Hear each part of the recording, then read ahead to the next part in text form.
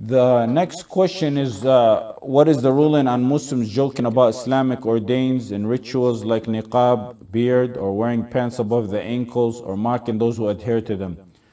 There are comedians who make a living out of this. Jokes like these even go on in private gatherings among Muslims and non Muslims.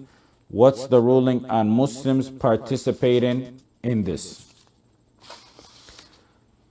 Uh, at a time we see the status of the Ummah and what's going on, where there's a war waged on Islam and practicing Muslims.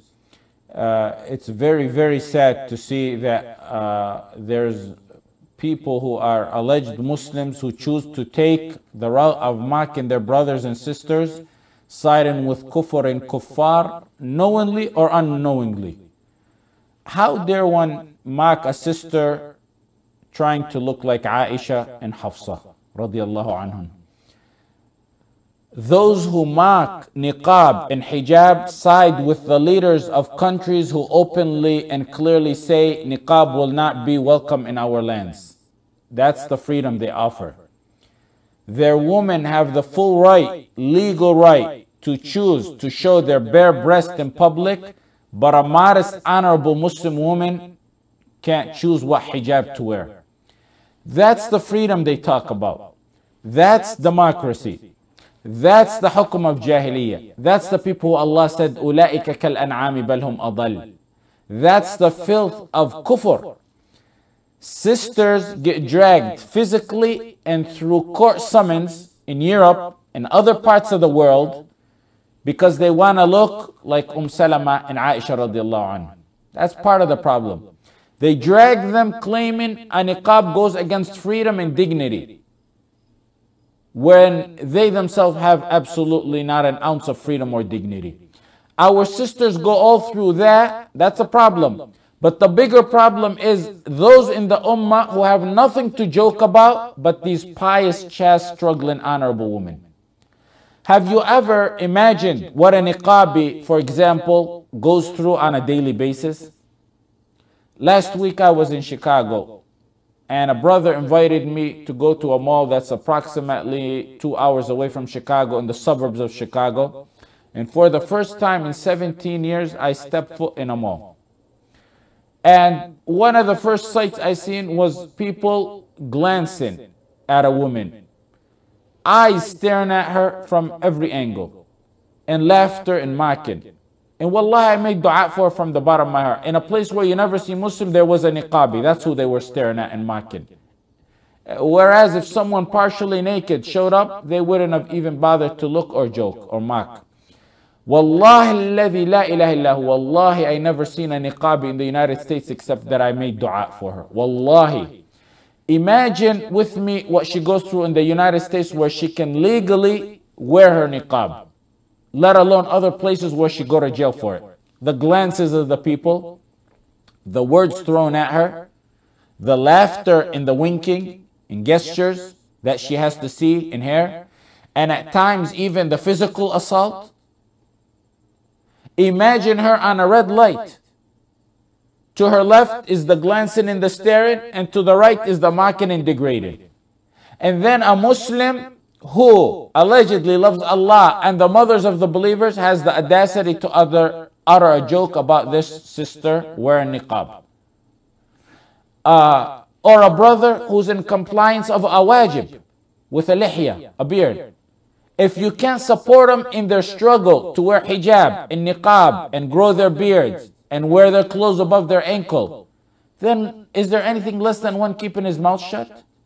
How many youth and youngsters seen a video of someone mocking a hijabi or niqabi or bearded brother and heard that jo joke from uh, Muslims and it was embedded in the back of their mind to be repeated over and over again. Some of them memorize these jokes and use it against those who carry out these Islamic obligations. Or how many kids and adults think less of those brothers and sisters who are merely in compliance of the ordains because of these jokes. Even if you adopt the wrong opinion, the weaker opinion, for example, of niqab, that it's not fard, you got no business mocking them.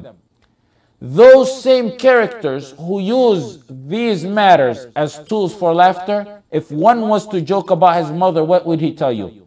He'd tell you, stop. This is not a joking matter. His mother's not a joking matter. Those women with hijab and niqab are mimicking the mothers of the believers and the daughters of the Prophet Muhammad sallallahu alaihi wasallam. قل لأزواجك وبناتك ونساء المؤمنين يدنين عليهن من جلابيبهن. Same with bearded brothers who and those who raise their pants above the ankles. That's why some scholars said mocking Islamic matters or directly mocking Allah and the Prophet Muhammad sallallahu and the verses of Allah are all the same. Who's the one growing the beard trying to look like?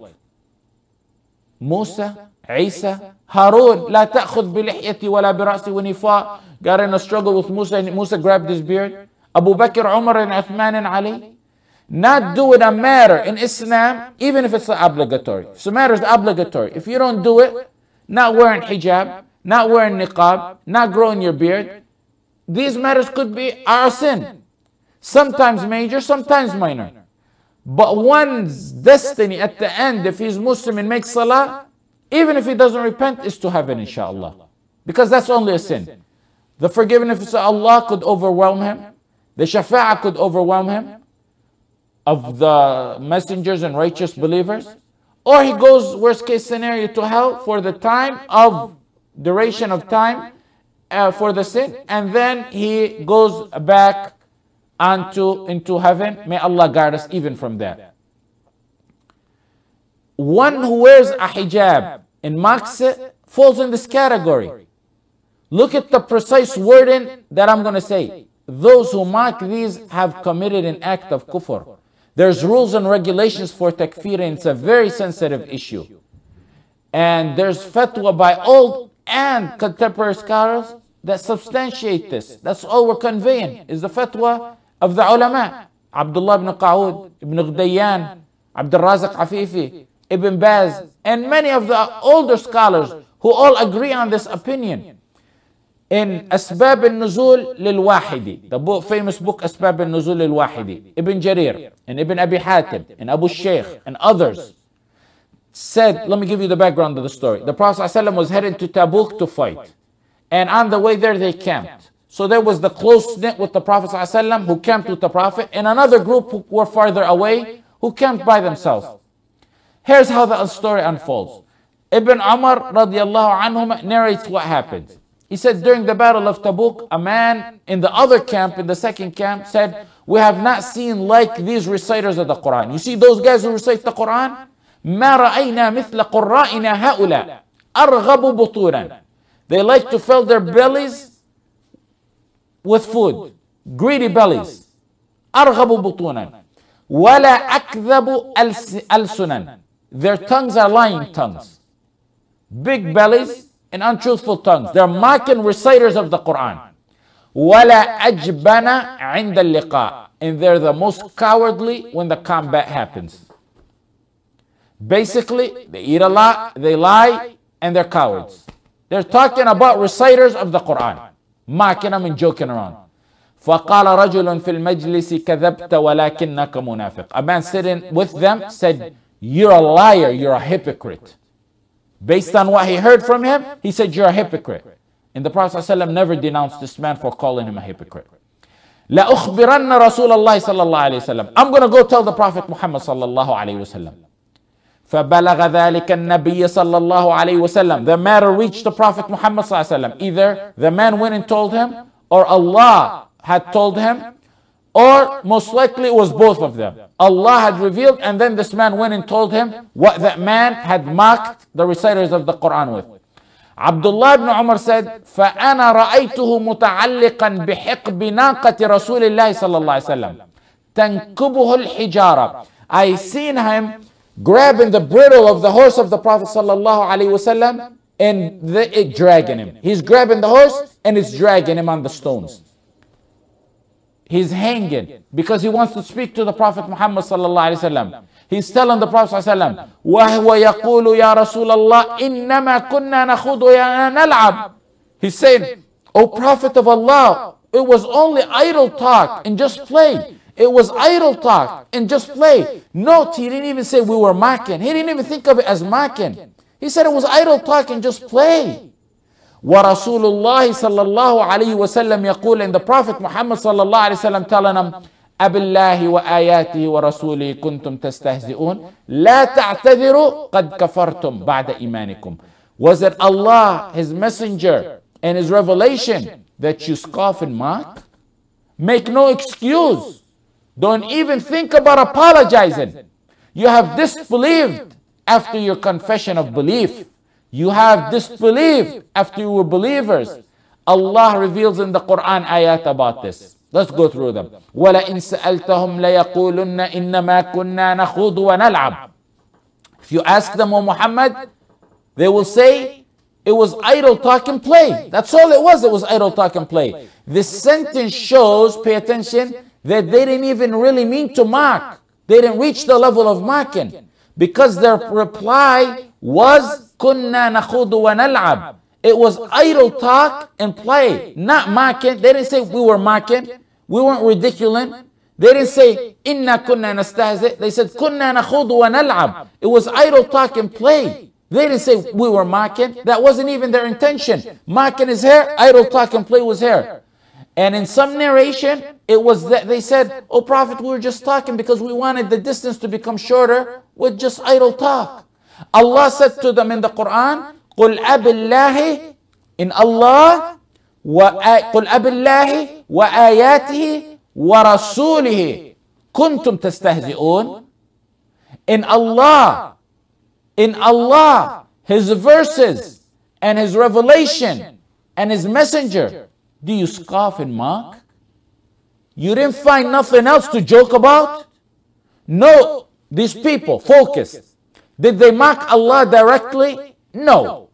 Did they mock the Quran directly? Verses in the Quran? No. Did they mock the Prophet ﷺ directly? No. They mocked the reciters of the Quran. Then why when Allah was denouncing them said, in, you mock Allah, the verses and the messenger?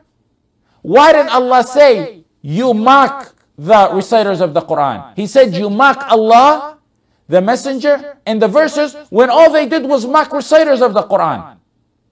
They mocked the reciters of the Quran because of their Islamic significance, so it's as if they mocked Allah, the verses, and the messenger. That's the point Allah is trying to get to you.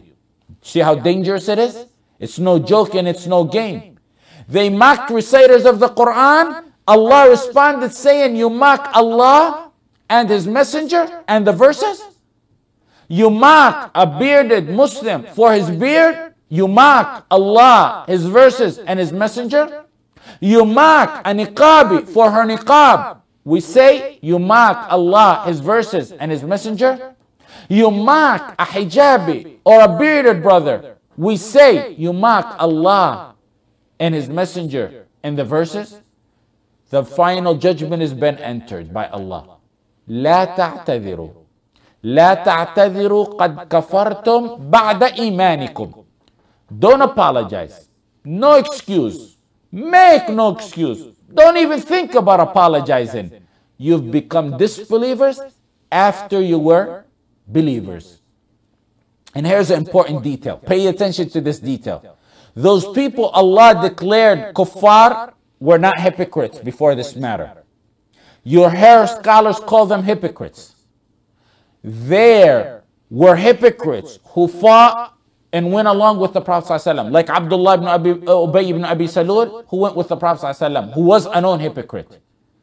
If scholars refer to these here who mocked as hypocrites based on what they did of mocking, then yes, they did become hypocrites in kuffar because of that. But some scholars allege they were hypocrites before they even mocked, and they were just going along with the Prophet Muhammad. That's wrong. They were believers fighting with the Prophet Muhammad sallallahu alaihi wasallam. They were putting their lives on the line for the sake of the Prophet Muhammad sallallahu alaihi wasallam. Yet they were rendered non-believers for a little joke they made. What can one say about those who never even broke a sweat in Allah and His Messenger's rightful cause? Yet they want to mock rituals and sunnahs and ordains? The solid proof that they were not originally hypocrites, as some scholars say, is in the verse.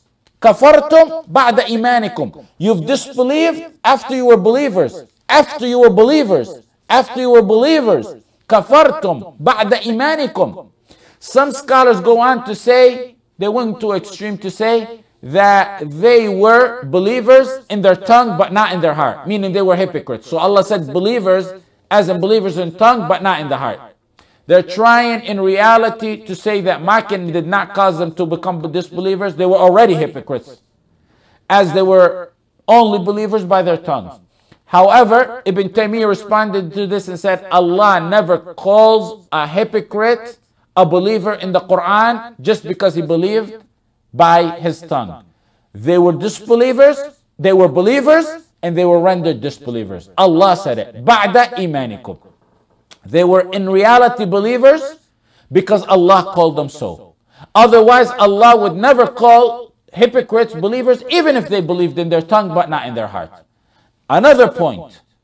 There are some matters where as a rule in takfir, ignorance of it being kufr is an excuse. It could be an excuse that I didn't know it was, it was caused me to, to be a kafir. Ibn Taymiyyah in Kitab al-Iman said, these people here did not think that they were committing kufr. Yet they were still considered kuffar. He's saying mocking and ridiculing Islamic matters is kufr, even if one did not know it will make him a kafir. Sulaiman al-Alwan, Sheikh Sulaiman al-Alwan said, this verse is clear proof in kufr of one who mocks Allah, His Messenger, and verses. If he considers it halal or if he considers it haram Merely mocking renders one an apostate by ijma' of all the scholars. Even if he did not mean the mocking but was merely joking and playing. إن نعفو عن طائفة منكم the end verses is نعفو عن طائفة منكم نعذب طائفة بأنهم كانوا مجرمين some repented and others didn't this applies to mocking punishments of Allah like heaven or hell or aspects of hell or aspects of heaven. This applies to mocking those who ordain the good and forbid the evil. And people who go along with that. Uh, it applies to mocking, like we already said, salah or aspects of salah, even sunnah salah. Not necessarily wajib salah, even sunnah salah, mocking that. Or those who pray because of their salah or someone who shortens their thobe or their pants in accordance to the Prophet ﷺ's teaching, or one who has a beard because of his beard, or a hijabiyya for her hijab, or a niqabiyya for her niqab, or a siwak, a mere siwak, the toothbrush. This is by the rules of the scholars who know the rules and regulations of takfir, because as I said, it's a sensitive issue. And next point, some scholars divided the, the, the market into two categories. Direct statements and writing, something direct, write or you say it, that's direct. But the other category, which is just like that, is gestures. You see someone in niqab, they smirk, smile, laugh, they stick a tongue out, or uh, you know, there's many type of gestures where you show how that you're marking someone. Any of that is just as though one said something. The rule and the both types of marking is the same. The next point is essential point. Do not ever sit with anyone who goes near this issue. If there's a gathering and joking kicks off related to this matter over here, if you attend an event where this goes on, or there's a comedy show, or a TV show, or a YouTube show, or anywhere, Flee with your iman like there's a lion behind you out to get you before you lose your iman. Flee and run away. The rule in Islam is that when there's something haram, you don't participate in it. You don't get, go near it, you don't support it. Like zina. وَلَا تَقْرَبُوا zina. Allah said, don't go near zina. He didn't say, don't commit it. He said, don't go near it. You don't sit on an alcohol table, alcohol where, a table where there's alcohol and say, I'm not drinking. You don't do that. You don't go to a casino and say, I'm not gambling. That's haram. In matters of haram, you don't go near the haram. You don't participate in it. You don't condone it, you don't support it. This is matters worse because it's specific verse about not going near it in the Quran. وَقَدْ نَزَّلَ عَلَيْكُمْ فِي الْكِتَابِ Allah says in the Quran, and it's already been revealed to you in the book. And إِذَا سَمِعْتُمْ آيَاتِ اللَّهِ يُكْفَرُ بِهَا وَيُسْتَهْزَأُ بِهَا أن إذا سمعتم آيات الله يكفر بها ويستهزأ بها that if you hear the verses of Allah يكفر بها means disbelieved in ويستهزأ بها means mocked فلا تقعدوا معهم حتى يخوضوا في حديث غيره Don't go near them, don't sit with them until they engage in another talk, until they change the subject. Don't go near them. A verse clear in the Quran. Don't sit and watch a comedian who mocks any aspect of Islam, any tiny aspect of Islam. Don't ever sit with a relative of yours, with a friend of yours who utters a joke pertaining to mocking any Islamic issue or those who practice it. Ever. It only get worse when you hear those so-called dua of ours today, in the United States especially, who want to give the look that they're all cool and all that and make their audience seem that they're all cool and then sit and mock issues of Islam. Forgetting this important aspect of Islam. Allah tells them, إِنَّكُمْ إِذًا مِثْلُهُمْ If you listen to it, you participate it, you don't walk off, إِنَّكُمْ إِذًا مِثْلُهُمْ If you stay with them, you are like them. Like them what? Kuffar like them. Unless you forbid the munkar and tell them they're wrong and walk away, then you are with them. Then the end of the verse says, إِنَّ اللَّهَ جَامِعُ الْمُنَافِقِينَ وَالْكَافِرِينَ فِي جَهَنَّمَ جَمِيعًا Allah is gathering the hypocrites and the kuffar in hellfire all together. It notes something very unique about this end of the verse. Allah says He's gathering the munafiqeen and the kuffar in hellfire. This is the end of the verse. In the hell. Where in the beginning of the verse, He's talking about those who mock. So the end of the verse, tied to the beginning of the verse, is the icing on the cake to prove the kufr of one who mocks Allah and His messengers or those who follow in accordance with any of that and you mock them or anyone mocks them because of that. Wal billah, it's one falls, it's a matter of kufr and iman. Whoever is involved in this, let him go, or was involved in this, let him go take a shower and say shahada and repent not to ever do this again. So he can rejoin the masses of the Muslim ummah. Sayyid Sabiq in his book Fiqh Sunnah, which you all have it. He said a believer who gives his shahada and becomes Muslim can never be considered a kafir unless his heart and breast is overwhelmed with kufr and he adopts kufr and acts upon it. And then he mentions examples of exemptions from that. And he said, mocking the Prophet Muhammad Al-Buhuti al-Hanbali, the big Imam, the Hanbali Imam, in his Kitab al-Rawd al-Murabba, he mentions this issue. So does Ibn Qudama in Al-Mughni. So does other scholars like Ibn al-Mulaqqin in Al-Tadhkira, famous scholars. All said that makin is kufr. So did the ones I just mentioned earlier, Abdullah ibn Qa'ud, Ibn Ghdayan, Al-Afifi, Sheikh ibn Baz, and others. Makin, this is what I relate to you from what the ulama and the salaf say is kufr according to their rules and regulation derivative from the Quran and the Sunnah. Allah does not leave those who mock His Quran and His Sunnah as believers without humiliation in this life before the life after. Subhanallah, it's a Sunnah of Allah. He always humiliates them in this life. In Bukhari and Muslim, there's an authentic hadith. In Muslim, it's a Christian man who became a believer and then rendered an unbeliever. In Muslim, it's a man from Bani Najjar. He used to, he read Al-Baqarah and Ali Imran. And he used to write for the Prophet ﷺ.